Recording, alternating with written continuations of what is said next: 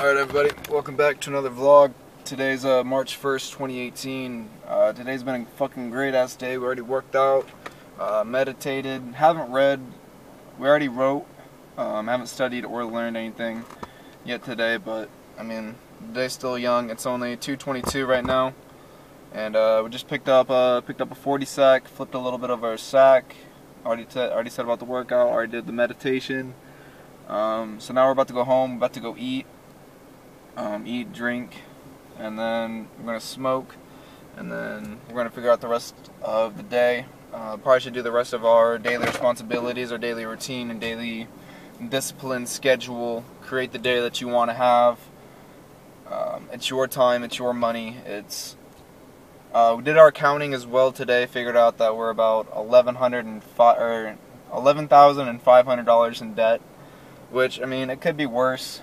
But I'm thankful that I did the accounting. I did what is necessary, the bare essentials, and I found out also that I owe at least like a thousand dollars today to pay for all my um, my bills, my debts, and my responsibilities, my student loans and credit cards, and um, anything else like that. Um, also want to pay off like to my to my parents and uh, my family, and then also I don't really have any friends, but if I did, I'd want to pay them. Well, I used to have friend like I want to pay back like Cody Dieters. He paid for like one of my concert tickets, and um, there's other people that I want to like. If it was like if I had the money, I would pay them back, and I really feel like that that is true. And I also feel like I need to create my story. I want to write the letters to everyone, and I really think that I need a plan for uh, my death day being March 9th, my court date.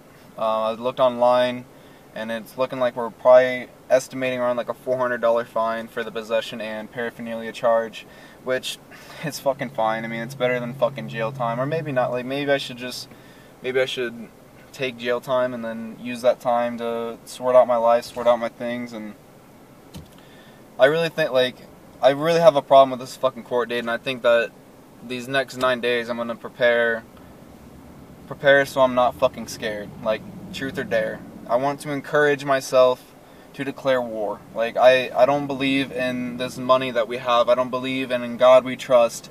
It should be changed to in, in us we trust. And I think that I'm going to be the future president of the United States. At 35 or 2031, I'm running for fucking office. I'm going to change this fucking world if it's the last thing I do. I'm going to fucking die trying. Like I I think I can make it a better place, a better yeah, a better place with my ideas and my implementation and I think that cops and government and the whole politics thing is just it's corrupt. It's wrong. It's it's not freedom, man. Like it's not fucking freedom. And I also need to get the fuck out of this state. I was thinking about this yesterday. I do know better, so I know that I should not be in this fucking state because I cannot smoke weed here. So I need to get at least to Colorado or California, probably both. But if you know better, do better, and that's another thing that I've noticed is if you think about it, if you know, if you think and you know, then you like do better, and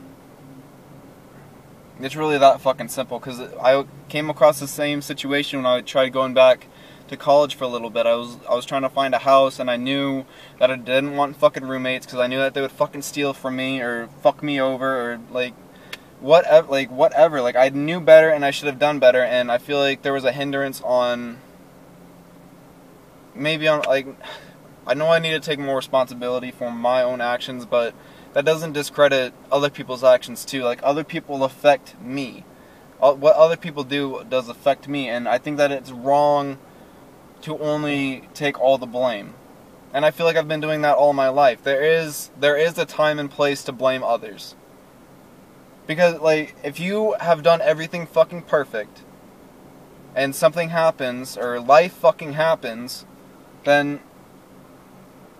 maybe there's a time and place to blame someone else.